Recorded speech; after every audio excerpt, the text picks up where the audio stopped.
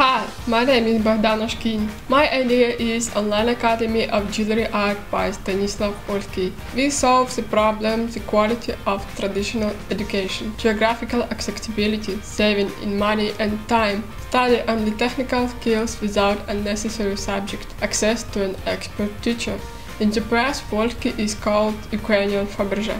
We will teach you how to become a jeweler through video instructions and feedback from a teacher online. Our clients are students and graduates of the Department of Metal and Jewelry, people from small towns who want to change profession for a jeweler. We will make money by selling online courses. There are direct competitors in the UK and in the USA, but it isn't in the Russian speaking market, which means blue ocean. You can already check up our website jewelryart.education. Learn from the best and from everywhere.